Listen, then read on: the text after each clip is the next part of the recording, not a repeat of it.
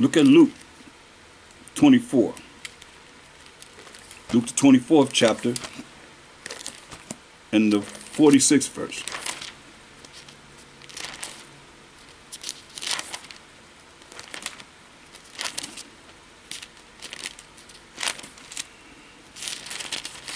Luke 24 and 46. And when the Mashiach had cried with a loud voice, he said, Father, into thy hands I commend my spirit. And having said thus, he gave up the ghost. He died. It behooved Mashiach to suffer and to be raised from the dead. But let's look at what he said in Luke 19 and 14. But the citizens, his own people, hated him and sent a message after him saying, We will not have this man to reign over us. You that? His own people. Just like a lot of people now. They don't want him, they don't believe in the Mashiach Yahushua. People that have believed him have gone astray and don't believe in him anymore.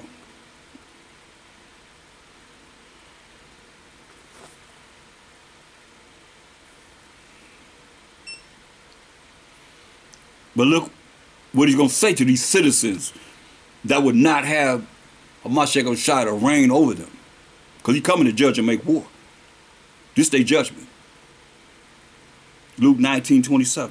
But those mine enemies, which would not that I should reign over them, bring hither, bring them in front of me, and slay them before me. Kill them before me. When he come to judge and make war. See, people taking this lightly. Gonna be people that's gonna be alive. He gonna make sure that they're alive when he come back. That's why I look at Romans, um, excuse me, Revelations 1 and 7. Revelations 1 and 7. The first chapter, 7 verse. Behold, he coming, he coming with clouds. The clouds are the chariots of the Most High, what we call IFOs. They call them UFOs. We know that they identify flying objects, the angels. Behold, he coming with clouds, and every eye shall see him. Everybody gonna see him. So don't worry about nobody saying, "Oh, Mashiach Messiah is over here. He's coming here." This everybody gonna see him when he come. Make no mistake about it. And they also which pierced him. You know? They also which pierced him. They gonna be here too. And those that pierce him now gonna be there to see it. And all kindreds of the earth shall wail, that means cry, because of him. Even so. Hmm. Better understand and understand. Look at Acts, the ninth chapter, 15th verse. Acts 9 and 15. We're looking at suffering, mourning, our tribulations. Acts 9 and 15. But the Mashiach said unto him, to Paul, Go thy way, for he is a chosen vessel unto me to bear my name before the Gentiles and kings and the children of Israel for I will show him how great things. So you're going to show him how great things. So lucky. Great things. Great things, what? He must suffer for my name's sake. Say why? Because when you look at Saul, whose name was changed to Paul, This is what he was about. Go to verse 1. Acts 9 and 1. And Saul, whose name was changed to Paul, who wrote most of the New Testament, yet breathing out threatenings and slaughter against the disciples of Mashiach Yahushua, went unto the high priest and desired of him letters to Damascus, to the synagogues, that he that if he found any of this way, what way? Rolling in Bahashama Mashiach Yahushua, whether they were men or women, he might bring them bound in chains unto Jerusalem. See? And as he was journeying, he came near Damascus, and suddenly there shined about, round about him a light from heaven. And he fell to the earth. Big bad Saul. He fell to the earth. And heard a voice saying to him, Saul, Saul, why persecutest thou me?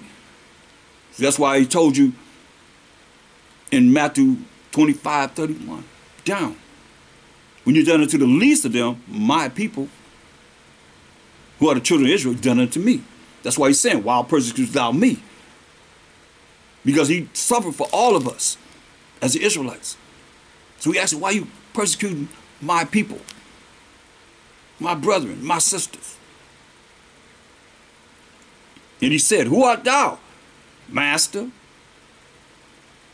And the master said, I am Mashiach. I am a Mashiach Yahushai, whom thou persecuted. It is hard for thee to kick against the pricks. And he trembling. He got scared then, this big bad Saul. Having us put to death. He was right there when Stephen got put to death.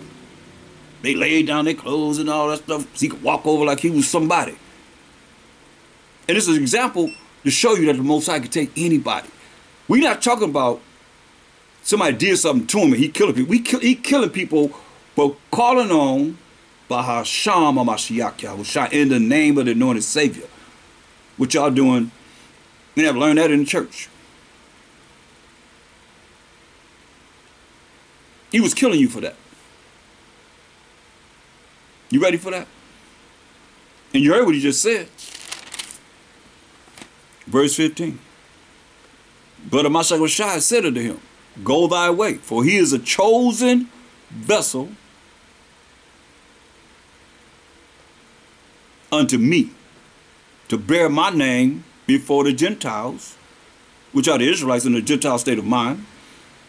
Like you see him going to send them letters to Corinthians, the Israelites in Corinth and Thessalonians and so forth and so on. All the different letters that he wrote and to places that he went, preaching to the Israelites who are Gentiles, just like a lot of our people. More our people are Gentiles than they are Israelites in their mindset, even here in America.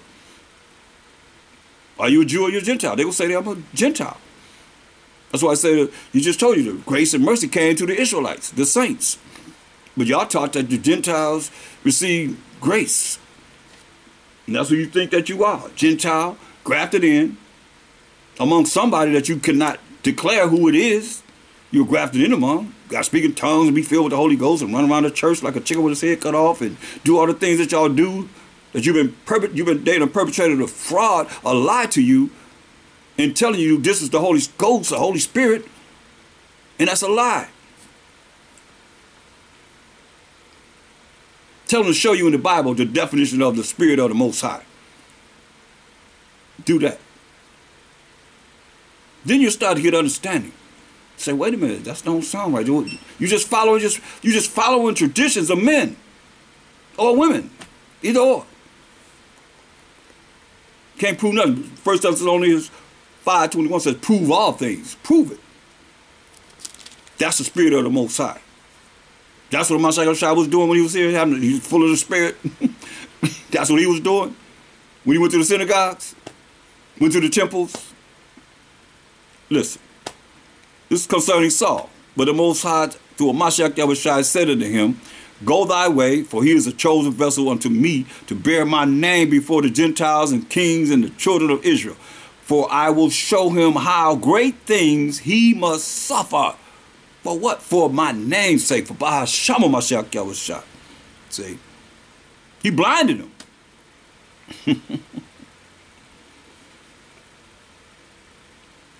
Look. Look at verse 13. Um, because he told him to go to Ananias to get his, he gonna receive his sight back. He blinded him.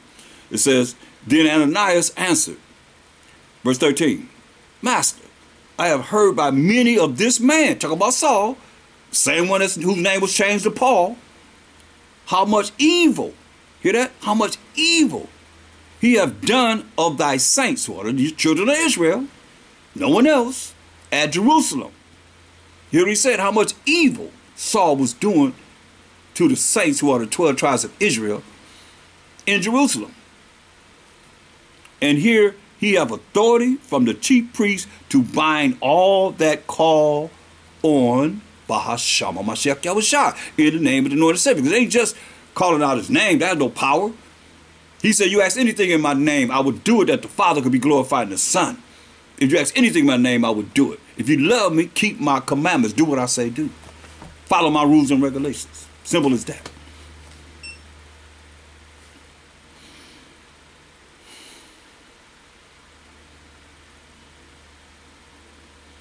In Ananias, verse 17, went his way and entered into the house and putting his hands on him, said, Brother Saul, the master, even of Mashiach Yahushua, that appeared unto thee in the way as thou camest, have sent me, that thou mightest receive thy sight and be filled with the Holy Spirit. Immediately there fell from his eyes as it had been scales, and he received sight forthwith, and arose and was baptized. And when he had received meat, he was strengthened. Then was Saul certain days with the disciples which were at Damascus. So he's with the disciples, and straightway he preached to Mashiach in the synagogues that he is the Son of the Most High. So that's a change, you see? He changed them. So this is a perfect example to let you know why he says this. For all you that think you done did so much that you can't repent, you can't ask for forgiveness and come back to this truth. Acts 17 and 30.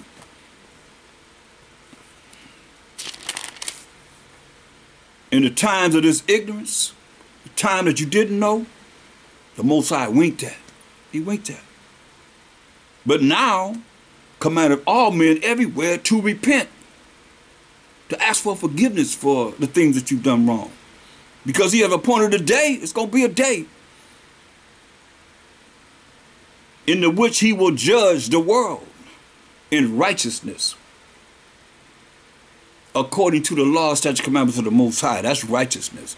By that man, Mashiach Yahushai, whom we have ordained, whereof he have given assurance unto all men, in that he have raised them from the dead, the third day. Walked the earth for 40 days, ascended to the right hand side of the Most High, back to where he came from.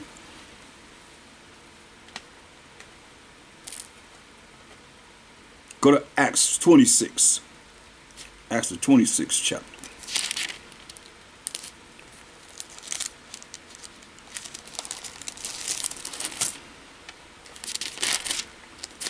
Acts 26 and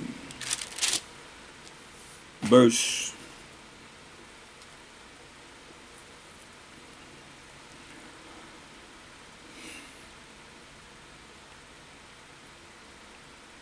you know Understand this.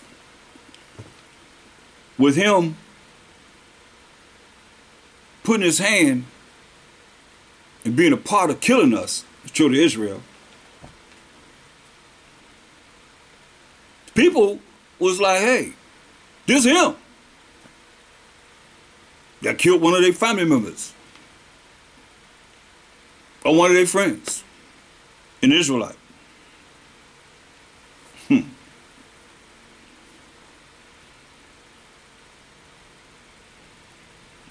So when he got a chance to go before Agrippa, this is what it says. King Agrippa, it says in verse 19, Acts 26, 19, it said, Whereupon, O King Agrippa, Agrippa, I was not disobedient unto the heavenly vision, but showed first unto them of Damascus and at Jerusalem. You see, it was a vision. Remember the Most High speaks once, speaks, yet Most High speak twice. Did man perceive it not? In a dream, in a vision? In deep slumber and come up on the bed, when he opened up their minds to take pride away from men, give them directions. The heavenly vision that he had. But show first unto them of Damascus and at Jerusalem and throughout all the coasts of Judea, and then to the Gentiles, these Israelites, that are Gentiles. It don't take a rocket science to figure this out because you ask most people of our people, are they Jew or Gentile? What they gonna say today? Majority of them that go to church or go to some religion, they gonna say they're Gentiles. But all praise to the Most High, this truth is not going out void. And we're waking up knowing that we are the Israelites, the people of this book. And I challenge anybody to prove that that's not a fact. That they're the Israelites and we're not. Hmm. I haven't seen it yet. You're not boasting, just facts.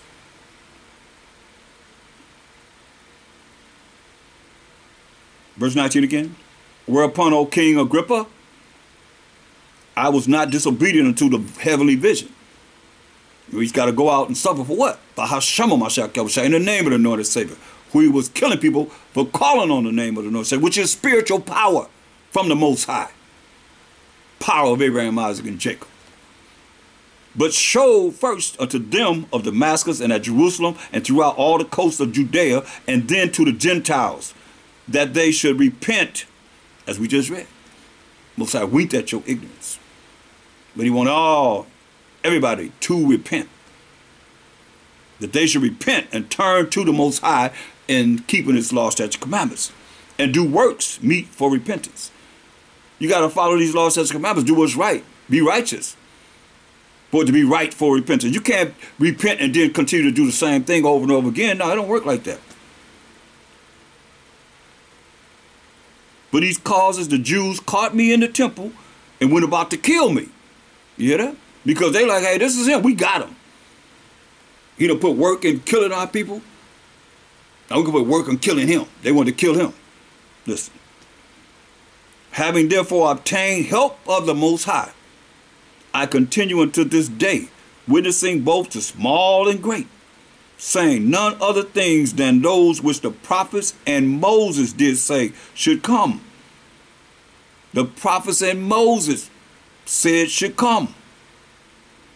That of Mashiach Yahushua should suffer, and that he should be the first that should rise from the dead, and should show light unto the people, the Israelites, and to the Gentiles the Israelites.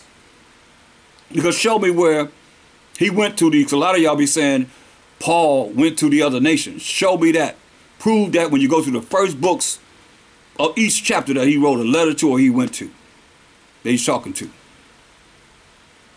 And I'll show you that you don't know what you're talking about. Because if it say God, the most high the power of Abraham, who had a son named Isaac, who had a son named Jacob. And Jacob became the forefather of the 12 tribes of Israel. And it says to the saints. In all those, majority of those first verses of each chapter.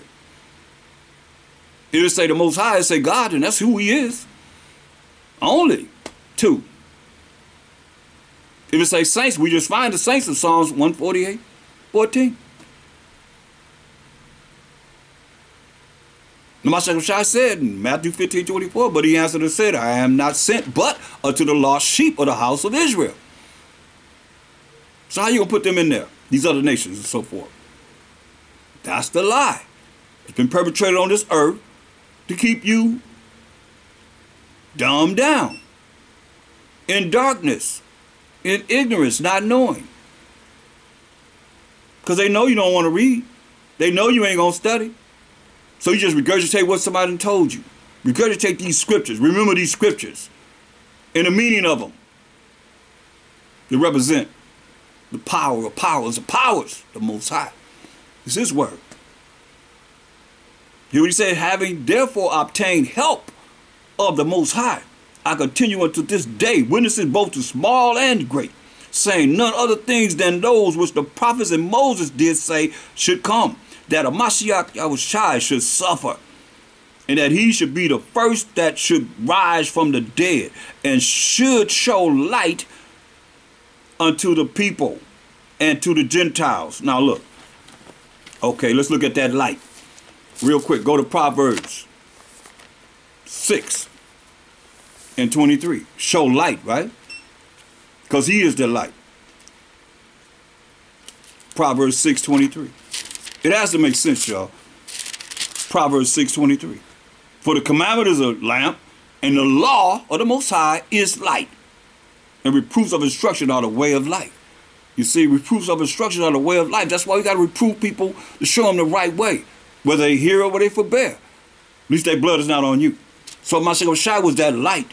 He said it was that light, which is contrary to what? Darkness. That's why I go to uh, St. John, first chapter.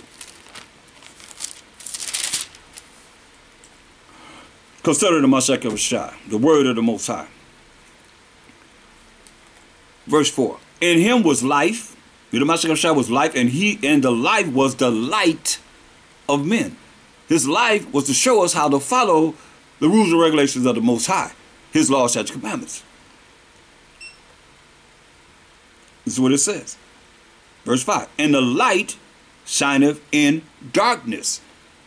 So the laws of the Most High, the commandments of the Most High, is shining in ignorance in the Roman Empire amongst the children of the devil and the children of light. Because the children of the devil outnumber the children of light because only one third of the children of light can see this.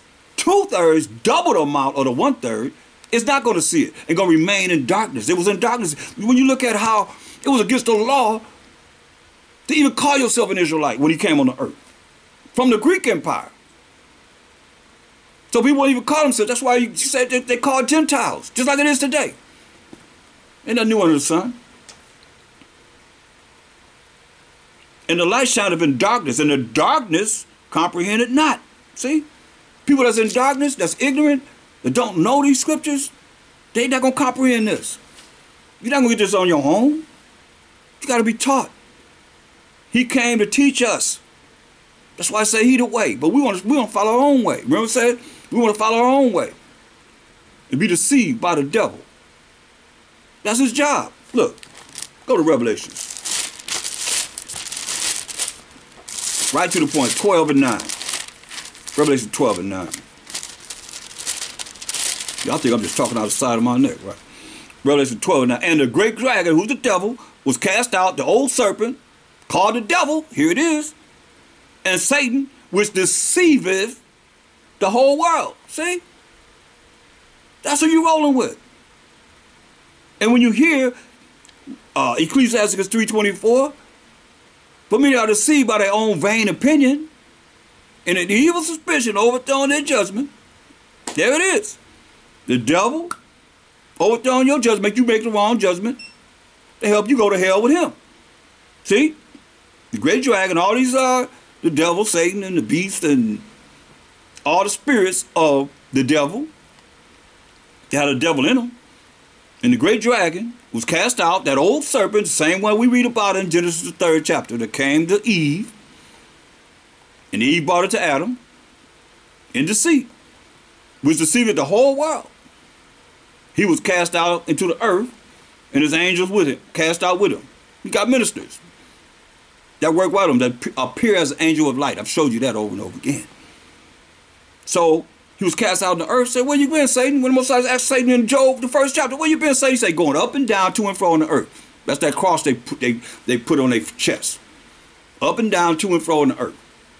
That cross that y'all wearing around your neck. A symbol of death. If that's what you believe. He died on the cross. When they say he hung on a tree. But you believe that he was died. I mean, think about it. Of people wearing crosses. And would you wear an electric chair if your parents was executed in an electric chair? Or would you wear a tree around your neck if one of your relatives was hung on a tree? Symbol of a tree on your neck? Come on, man. A lot of y'all got Caesar Borgia, that white, that so-called white image on on that cross. You can't say you don't believe that the white man gonna come back and save you, because you got it around your neck. Mm, mm, mm. Once again, and the great dragon was cast out, that old serpent from Genesis third chapter, called the devil and Satan, which deceived the whole world. He was cast out into the earth, and his angels were cast out with him. And now they appeared as an angel of light. And y'all can't even see the light because you in darkness. Ignorance, not knowing. Dumbfounded. Sodist children, the most High call us. Amongst other things he calls us. That's just part of what he's, he calls us, but amongst many things. Look. Go to uh, Psalms 147, 19, and 20. Psalms 147, 19, and 20. Psalms 147 and 19.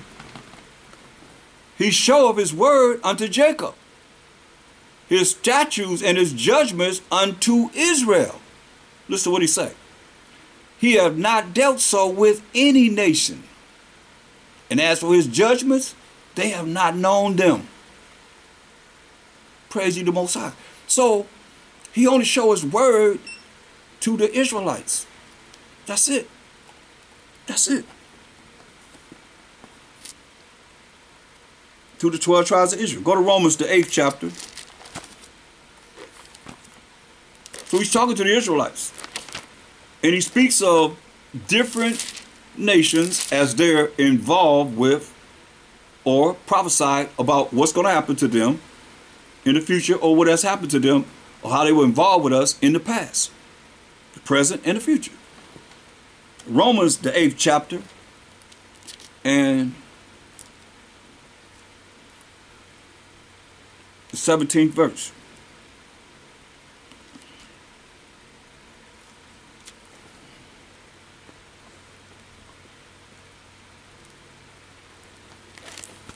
Select it.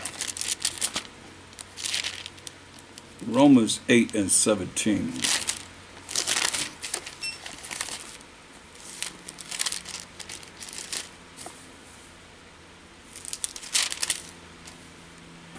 And if children, let's read verse 16. It says, The Spirit of the Most High itself bear witness with our spirit that we are the children of the Most High. 12 tribes of Israel. And if children of the Most High, then heirs, we have an inheritance that's promised to us.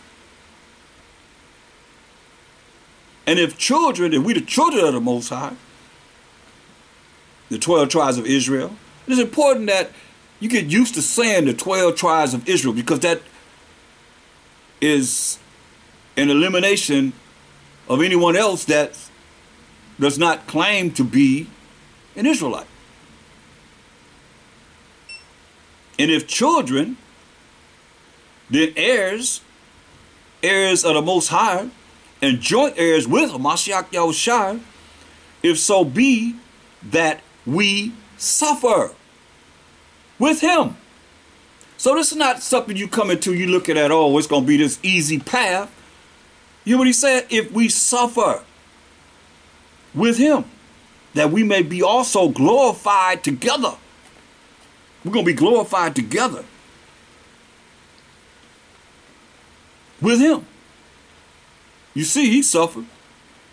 You know, just look on uh, my YouTube channel, the death of Mashiach Yahushua. All that he went through. Or if you don't want to do that, just simply look at the passion that movie. Because it's a beatdown from the beginning to the end. And that's what he went through. A beatdown from the beginning to the end. That's why I say his face was marred more than any man. Cold. But see, we have opportunity to be joint heirs with a Mashiach Yahushua to the glory of the Most High, glorified together in the kingdom that's already prepared for us. Plenteousness already prepared for us. New Jerusalem already built, ready to come down once he purified his earth with fire. There's two purifying elements, water and fire. So he's going to use fire. He ain't, gonna, flood the earth no more, he said. That's why he put the rainbow in the sky to remind himself. I'm not gonna flood the earth anymore. I'm gonna burn it up, and you're gonna burn a lot of people up with it. This is what it says. Verse 18, For I reckon that the sufferings of this present time are not worthy to be compared with the glory which shall be revealed in us. Hear that? The suffering that we're suffering and going through is nothing to be compared with the glory of the kingdom that's already prepared for us. For the earnest expectation of the creature, waiting for the manifestation of the sons of the Most High. The angels waiting on us get ourselves together. And I see it manifested right before, like you say, gonna put us in order right before their face. Because everybody's saying repent and come back to the laws, statutes, commandments of the Most High. Hallelujah to the Most High. By Shema Mashiach Yahushua. So we coming back. For the earnest expectation of the creature waiteth. They waiting for the manifestation of the sons of the Most High, who we are.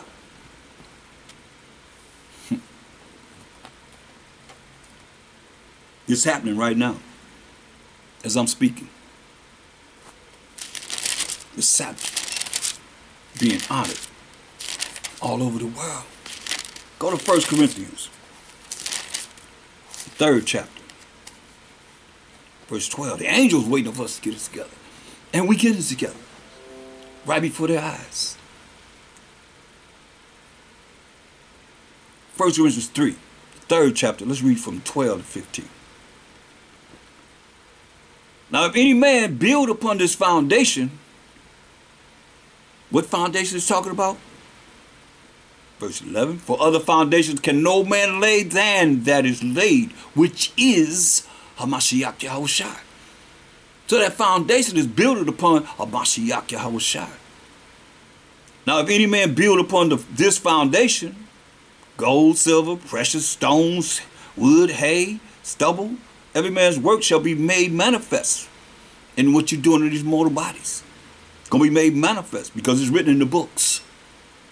For the day shall declare it. See that? That day going to declare it. That day of judgment going to declare it because it shall be revealed by fire, by the word of the Most High. And that fire that's going to bring upon this earth. For the fire, the word of the Most High, which is the fire, shall try every man's work of what sort it is, whether it's good or whether it's evil. Well, I guess I got to prove what that fire is, because some of you might be saying, "Oh, that's fire." And I don't mean that. It means they're gonna be burnt up. No, you burn up, you can't. Ain't no, ain't no more of you. Look at Jeremiah 23 and 29. He said, "Is not my word like as a fire?" See, the word of the Most High is fire. Said the Most High. So you got to deal with the Most High on that. He said it. Is not my word like as fire, as a fire? Said the Most High. And like a hammer that breaketh the rock in pieces? So now, now that we know that fire is the word, going back to 1 Corinthians 3 and 13. It says, Every man's work shall be made manifest. Everything that we have done in these mortal bodies is going to be made manifest. For the day shall declare it. Hear that? Because it shall be revealed by fire, by the word of the Most High. He coming to judge and make war. With a righteous judgment, which is coming to judge according to the word of the Most High. That's why it's very important for everybody that hears my voice or hear the prophets or the, or the men of the Most High that are bringing forth this truth in these last days to pay attention and change. Every man's work shall be made manifest, for the day shall declare it. The day gonna declare it, because it shall be revealed by fire, and the fire shall try every man's work of what sort it is. Right. So now, when it says, "For the day shall declare it," every man's work. Right. So let's go to Hold that. We'll come back there. Let's get Revelations 20. Just to prove what I just said. Revelation 20. And as I said, it's been written in the books, everything we do. Revelation 20 and 12. And I saw the dead, Revelation 20 and 12. And I saw the dead, small and great, stand before the Most High in a my secular shot, and the books were open. See, everything we do is written in books. The angels are writing in books.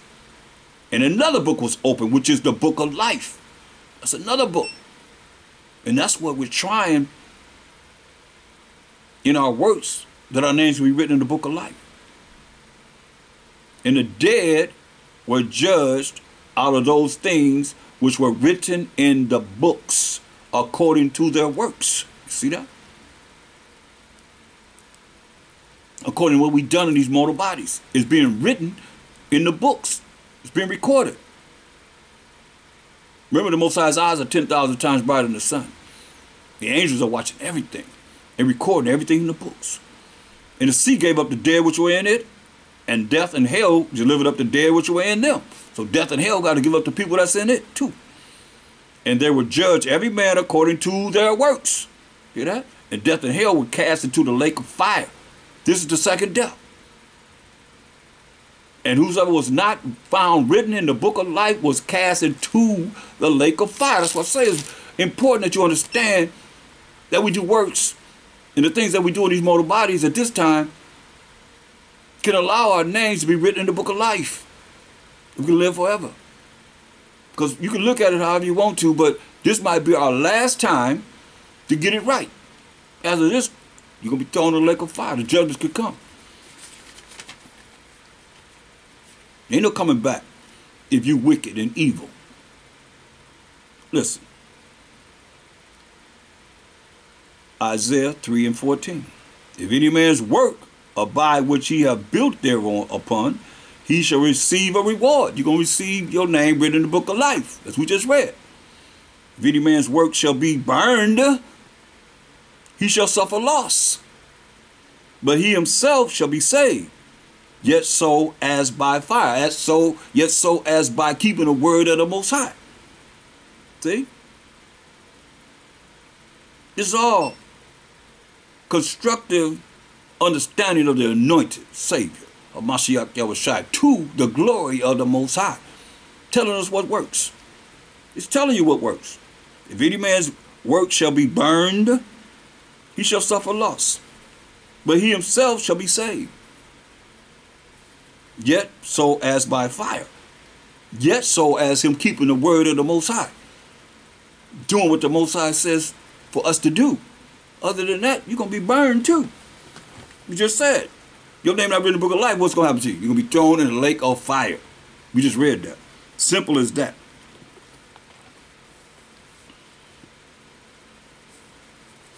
And that fire is talking about the tribulation, the suffering that the Most High going to put on you.